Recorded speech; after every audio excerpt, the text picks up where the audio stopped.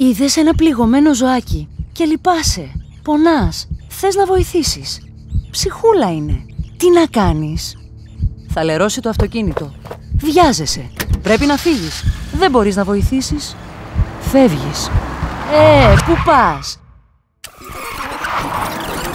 Υπάρχει τρόπος να βοηθήσεις.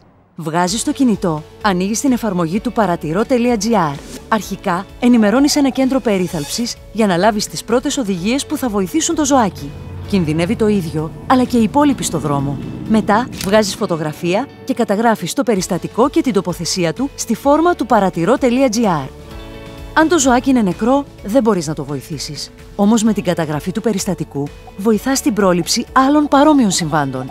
Η επιστημονική ομάδα του παρατηρώ.gr αναλύει τα δεδομένα που καταχωρούνται από όλους τους χρήστες και προσφέρει λύσεις.